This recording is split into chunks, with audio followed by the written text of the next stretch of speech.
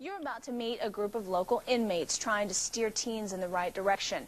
Scene reporter Paul Gutierrez joins us with more. Paul? It's through a program called Life of Crime.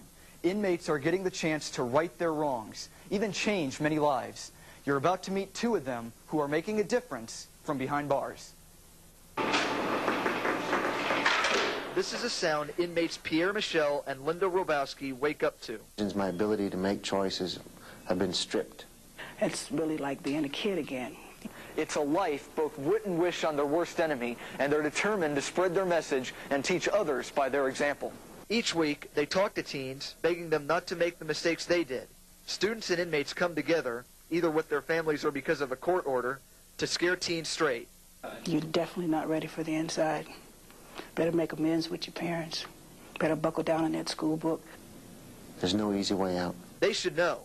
Their crime careers lasted for over 20 years. Probably I would still be out there passing counterfeit money until finally when I did get caught, the amount would have been so high, I'd have been looking at life. As for Pierre, he left Canada to buy cocaine and got caught. Money. Money was my first temptation. But now they've redirected their lives to help reshape others. Pierre is coming up on a transfer within the next week. As for Linda, she gets out in May.